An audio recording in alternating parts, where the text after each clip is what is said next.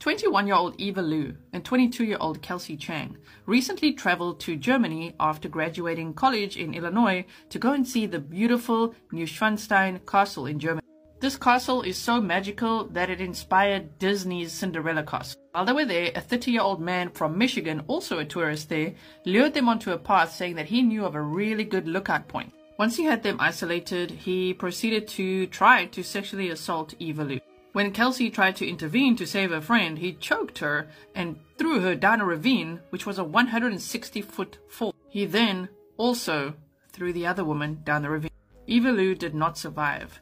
Kelsey Chang was airlifted to the hospital and she has survived. While he is facing murder charges, sexual assault charges, and a whole bunch of others, the German authorities say they're not releasing his name due to the early stages of the investigation. Supposed to be a magical trip ended up as an absolute nightmare. Follow for more.